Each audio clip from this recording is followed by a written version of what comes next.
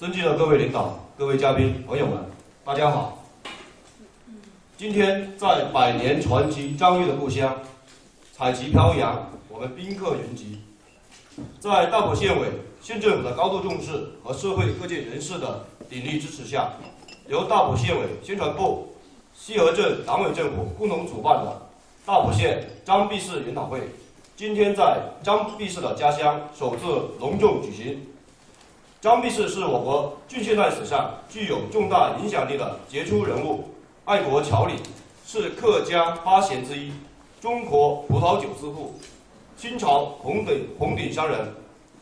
召开张弼士研讨会的目的，是研究张弼士极不平凡的奋斗的一生，弘扬其爱国爱乡、实业兴邦的伟大精神。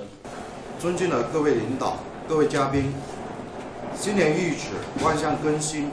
在这春暖花开的季节，我们迎来了各级领导及海内外嘉宾，在国家文物保护单位、清代商务大臣张弼士故居光禄地，隆重举行大埔县张弼士研讨会。在此，我谨代表中共西河镇西河镇委、西河镇人民政府。向前来参加张弼张弼士研讨会的各位领导、各位嘉宾表示最诚挚的欢迎。向长期以来关心、支持西河经济发展、社会进步、旅游文化事业的发展的各各级领导、各位朋友，表示崇高的敬意和衷心的感谢。西河镇地处粤东山区大埔县东北部，山川雄峻，入秀中岭。这里有二百一十平方公里的土地，居住着三三万五的勤劳朴实、热情好客的西河人民。千百年来，西河先民凭着中原传统文化熏陶和聪明才智，转转南迁，磨练成的坚韧意志，开疆拓土，引入出进和进取精神，在闽粤边地破土造基，安身立命，繁衍足义。形成了西河独特的风土人情和崇先报国的客家精神。西河自自古崇文重教，文风鼎盛，俊才生齿，古今名贤英杰辈不胜举，可谓群生璀璨，光耀繁育。清代商务大臣张弼士是西河王堂里车龙门人，十八岁只身唱到南洋，先后创办垦殖、采矿。航运、金融、药材、建筑多业，成为当时南洋华侨中首屈一指的巨富。后被后被清清廷赏赐一柄顶戴。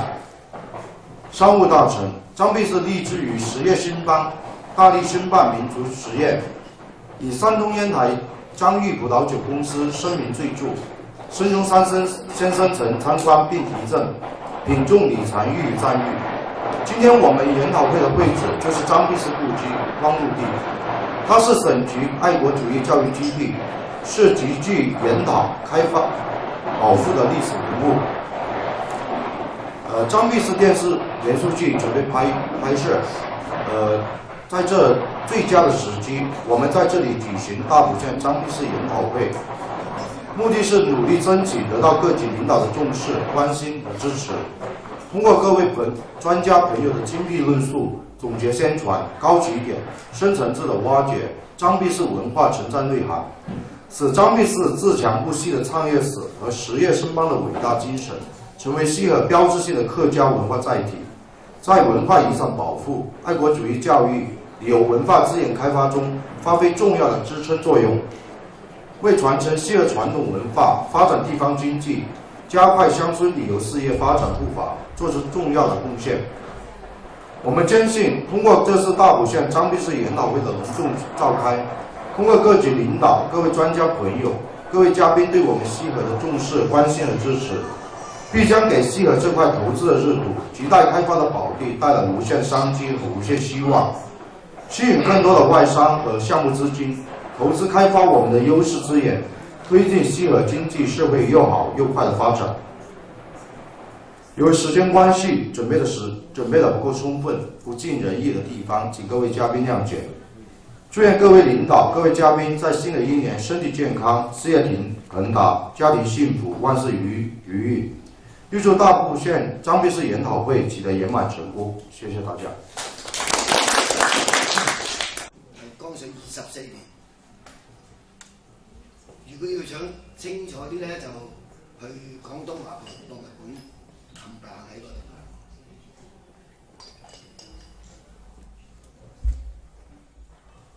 呢個時候咧，就係、我哋買誒、山海關。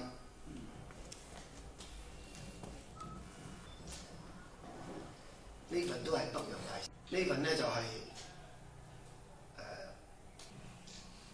捐錢俾香港大學，當年係訪美實業團嘅。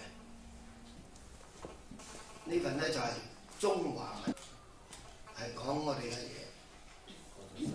咁多位領導鄉紳賢達，我代表張家能夠咁開心，今日可以喺呢度同你哋講見面。先多謝先。咁咧，第一件事我就好支持，又好贊成，將我哋嘅張家同埋我哋嘅客家文化喺呢度一直發展出去世界。咁咧，如果用我哋嘅酒文化或者我哋誒、阿爺正落嘅思想咧，係有三樣嘅啫，係勞工商。係我嚟養我哋家鄉，養我哋嘅客家文化。如果呢個發展到好咧，我諗我哋係唔可限量嘅。咁其次咧，就有一樣嘢，咁多人誒咁、多研達喺度，你哋比我更清楚。